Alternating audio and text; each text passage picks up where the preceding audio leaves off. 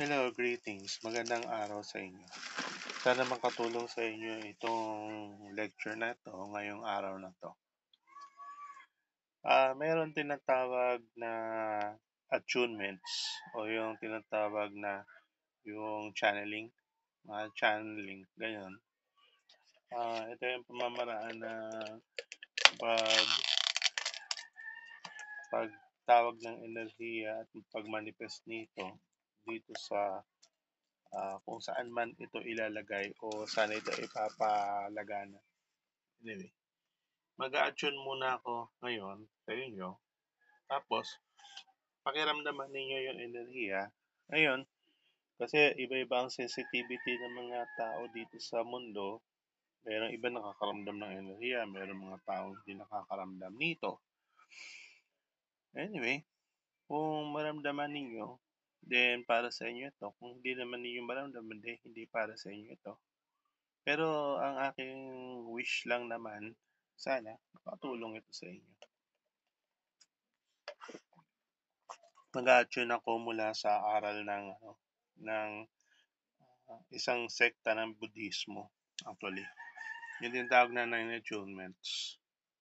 Isimulan ko na ha. Rin.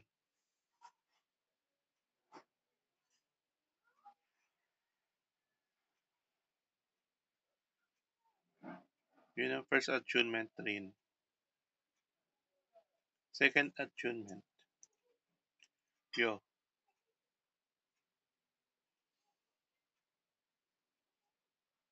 Tapos yung third attunement ko, to.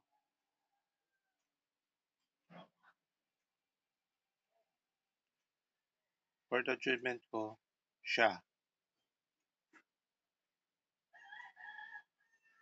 Yung sunod, susunod na attunement ko, kay. Yung susunod na ko, Jin.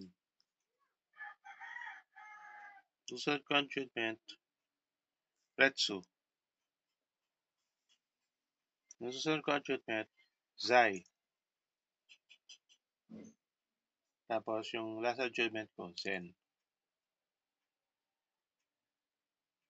Anyway, kung mararamdaman ninyo energy, yung sa ginawa natin na audio video, then makakabuti ito. Sana makatulong sa inyo ito sa positive, positibong pamamaraan.